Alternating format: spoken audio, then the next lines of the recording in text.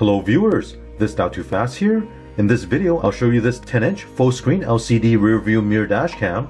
This one here is the Acumen XR10. This dash cam comes with both a front camera and a rear camera. Both record in Full HD 1080p at 30 frames per second, and it does record both simultaneously while you drive. The LCD display is a touchscreen. You can stream the live video from either the front or rear camera on the display. With a live view, you'll be able to see everything happening around your vehicle. I'll go over all the features and functions in this video, so stay tuned.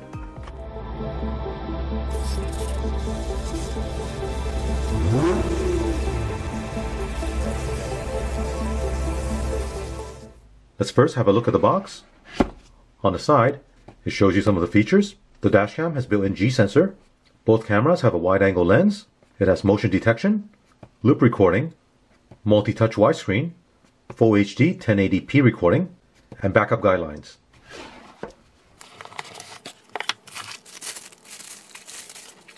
There's a rear view mirror dash cam,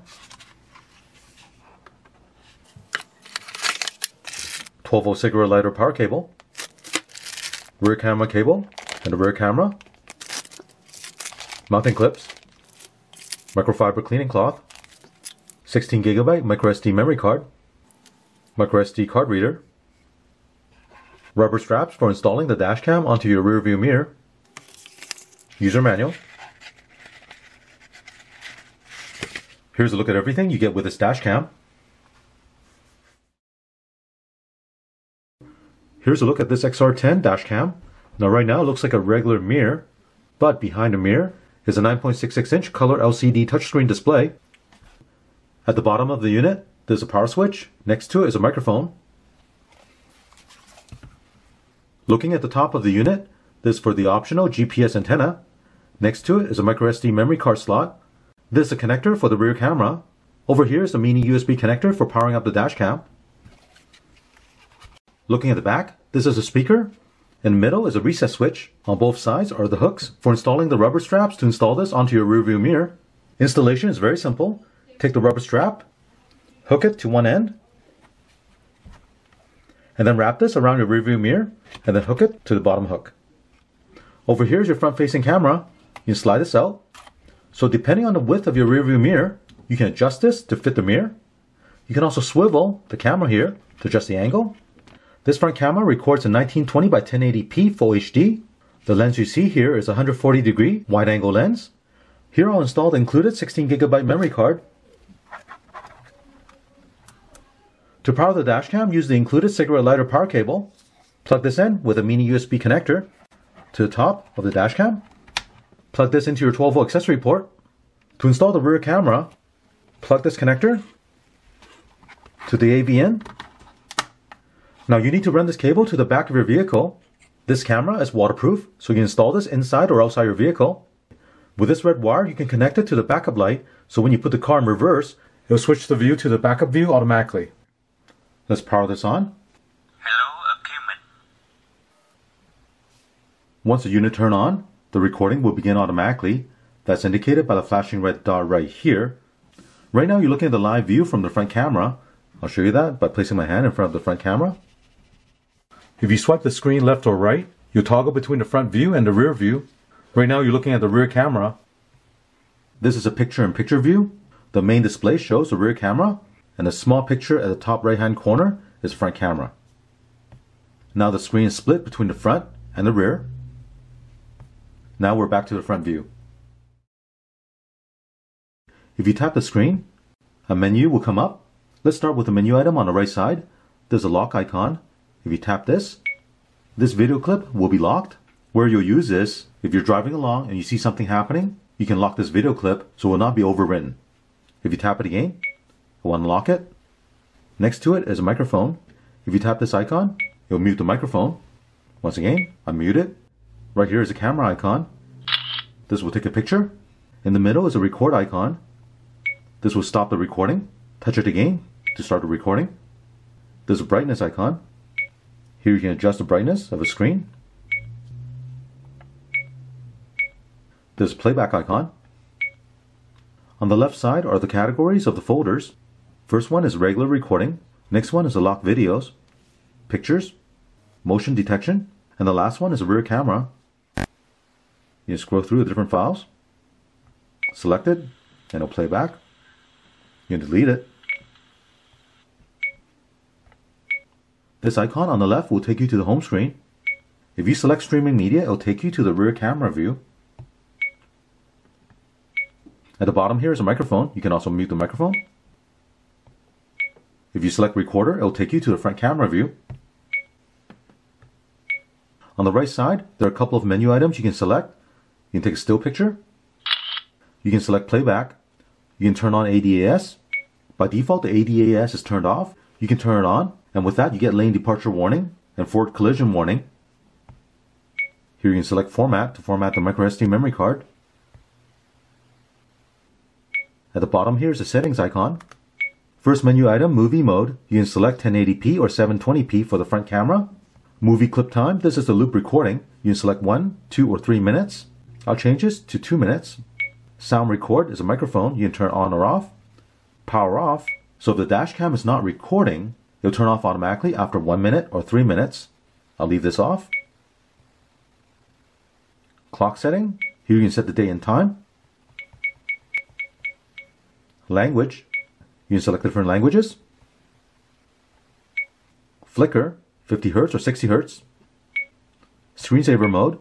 So while it's recording, you can have the display to remain on or turn off or reduce the brightness or turn off after a period of time. I'm to turn off screensaver so the display will remain on. Protect level. This is a G sensor setting. Defaults middle. You can set it to off, high, middle, or low. Now with the G sensor, if the dashcam detects an impact to the vehicle, it will automatically lock that video clip so it will not be overwritten. Parking monitor, by default is off. You can set it for high, middle, or low. Now with the parking mode, the dashcam will operate using its internal rechargeable battery. With the ignition off and the vehicle parked, if the dashcam detects an impact to the vehicle, it'll turn on automatically and record a 10 to 20 second video and power itself off. Now that video is locked, so you can go back and review it later. Volume. Here you can set the volume of the speaker. Reset setup will allow you to restore the setting back to factory default. Format SD card will allow you to format the memory card. And the last item is firmware version. When you're done with the setting, you can go back or go to home. Now if you turn off the ignition, the unit will power off automatically. So let's take this to the vehicle, get it installed, and we'll check out the display on this LCD screen and also the daytime and nighttime video recording. To install the mirror dash cam, Wrap the rubber straps behind the rear view mirror and then clip it to the bottom hook.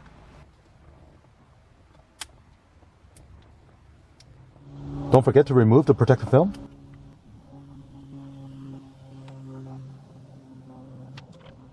Connect the power cable. Now the power cable is 11 feet long, so that'll give you enough length to run up to the headliner over to the A-pillar and down to your center console. Connect the rear camera cable. It's 19 feet long, and you need to run that all the way to the back of the vehicle. Plug the power adapter into the 12 volt accessory port. To install the rear camera, you can use a double-sided tape to stick this directly onto the back window, or if you want to install this outside the vehicle, you can also use the included screws to mount it by the license plate or somewhere on the back hatch. At the back of the camera, you have this cable that comes out. It connects to this connector on the cable you ran to the back. With this red wire, you have the option to connect it to the backup light. If you do that, when you put the car in reverse, the display on the screen will switch to a lower angle view so you can use it as a backup camera. I ran this cable to the back, then tucked the cable behind this rubber molding. With the angle of the back window, if I mount the camera onto the window, the camera will be pointing too low. So what I'll do is mount the camera onto this trim right here. And this will give me the proper angle to the back. Connect the two cables together, and then tuck the rest of the cable behind here. Here I'm extending the red wire so I can run the wire all the way to the backup lights. Now the backup light on this vehicle is located on the rear hatch right here there's an access panel I can remove. Right here is a backup light bulb. I'll need to connect that red wire onto the positive wire of this backup lights. Here I'll install T-tap. So I ran my own red wire all the way to the back here. Connect it to the T-tap. Reinstall the lights. Reinstall the cover. Here's a look at the installed mirror. Now turn on the ignition. Hello, Acumen. Right now, showing you the rear view. If I swipe the screen, this is a split view with the left side showing you the rear camera and the right side showing you the front camera. There's a front view. There's a backup view. So when you put the car in reverse, it will automatically switch to this view. Now we're back to the rear view. Now if I go to the front camera, I can swipe up and down to adjust the angle of view. I can do the same thing with the backup view.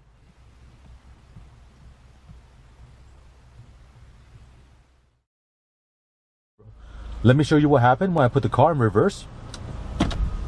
With that red wire connected to the backup light, once I put the car in reverse, the display will automatically switch to the backup view. Now in this view, I can adjust the angle. Now I'll put the car back into park. And it'll switch back to the regular view. Now if you're driving along and you want to turn off the LCD, there's a power switch at the bottom right here. Just press it. The LCD will turn off. You can press it again or tap the screen the display will come back on.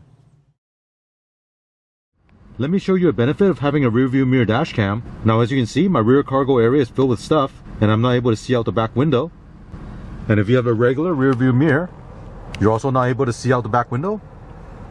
But with this system, I can turn on the LCD display and have a clear view of the back of the vehicle